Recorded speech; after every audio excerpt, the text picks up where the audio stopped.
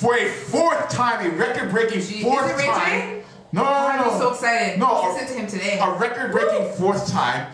And uh, first ever consecutive Wakes of the Week back-to-back weeks. Uh-oh. None other than Kanye West. Oh yeah. Kanye West. Been waiting. Hold on, hold on. Let, let me eat first. Let me eat first. Now, Kanye West has been on a rampage this week doing interviews, media press, and what have Because you. you know And he hasn't been in the media everywhere for the past know, like right? year. And he's still complaining about corporations and you know trying to own own businesses. Like, we, we get it already. He's pushing But- my buttons.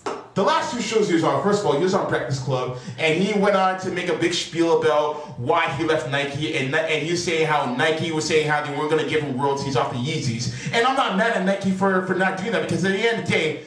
The, the, the Air Yeezy was not a shoe that was of his own original design. That's what I'm There are different parts of that shoe that belong to other Nike shoes. Like literally, the bottom of the sole says Jordan. I know. And it got and they took it from the Jordan 3 I know, I know. So that's the main reason why they couldn't give him royalties off of it because they had to give the other people royalties off of it. That's why they gave him a large already lump sum. rich. Why you Hold care on, hold about on, hold on, hold on, hold on. Hold on. They gave him a large lump sum settlement of forty million dollars. Okay, you know what he said in response to that?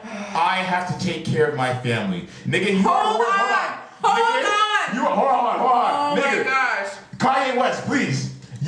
You worth one hundred million dollars off of music, off We're of not jewelry, talking about his wife. off of everything else that you do. You have enough money to feed five families for the rest of your life. This guy okay? came on a and Latrobe not to mention, said he needs to you take already his have a wife who's still capitalizing off of her sex tape fame and Who is what have almost you. as rich as him, or if not richer I than think him, exactly. which is crazy. Now, that wasn't what set me off. What set me off is when this guy had the audacity to go on Sway in the morning and try to G-check Sway on his own show.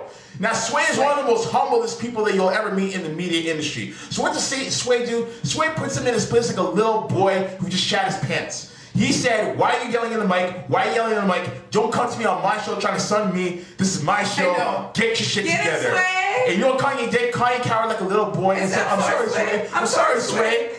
You're Kanye right. West, I try not to give you the Wanksta of the week this week, but you tried my hand. My cup runneth over. I am so sick and tired of you complaining about Walmart being Walmart wanting to, wanting to have your own Walmart, wanting to be your own businessman. We get that already, but you need to learn a little something called classic etiquette. You need to learn how to communicate. Don't even say that. You know his mom And- taught him that shit. He just forgot it. Hey, well, you need to reteach yourself that shit, and you're not gonna you're not gonna do it by marrying a hoe who was known off of being a belly warmer off a frig, uh, off a damn sex tape. Kanye West, you're in the Wanksta of the week. I have nothing further to say. Jay Kareem, does this man deserve Wanksta of the week not only for a second week in a row, but for the fourth time in cool radio history? Of course. Let's drop that shit real quick.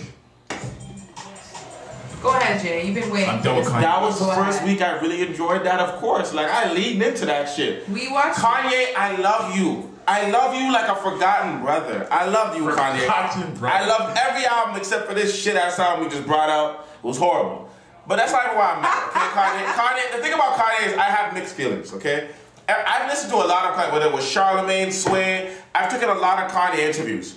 And like, I agree with some of his points about the corporations. I agree with the fact of what he's saying with the fashion industry, where he's saying how there's five major fashion companies that own all the fashion companies, and they're all Jewish and they're all white. And he does not want to come out with a small urban label like Rockefeller or something like that that's going to be only sold to an urban market. He wants to be the person who owns his own company who comes out with a huger label.